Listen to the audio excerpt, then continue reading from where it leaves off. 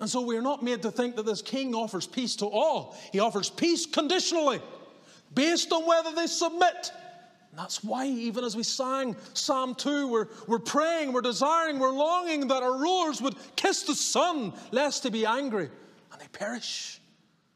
We want our president to kiss the Son.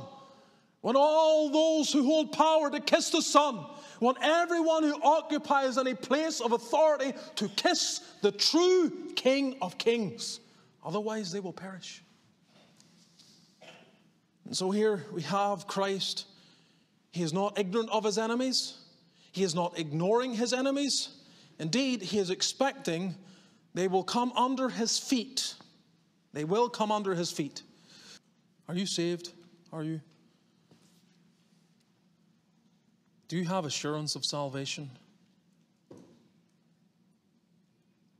Do you know your sins are forgiven? Are you living in constant doubt? Do you have one foot in the church and one foot in the world? Are you a double minded man, unstable in all your ways? Do you find yourself kicking against explicit and challenging statements of God's word rather than surrendering and submitting.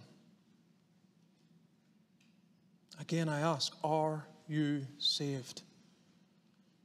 You can be saved here, right now, this morning, in this morning service. And if you need any guidance, you can talk to me.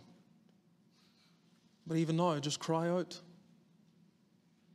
God, be merciful to me, a sinner.